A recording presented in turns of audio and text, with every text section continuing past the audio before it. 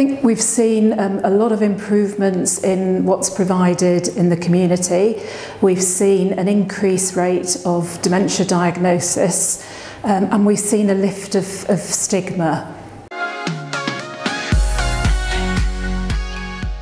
I think the biggest impact over the next 10 years with the long-term plan is going to be community integration. It's going to be people working together in the community to look after people with dementia, people like me, old age psychiatrists, occupational therapists, nurses, um, all working together to deliver the care to the patients.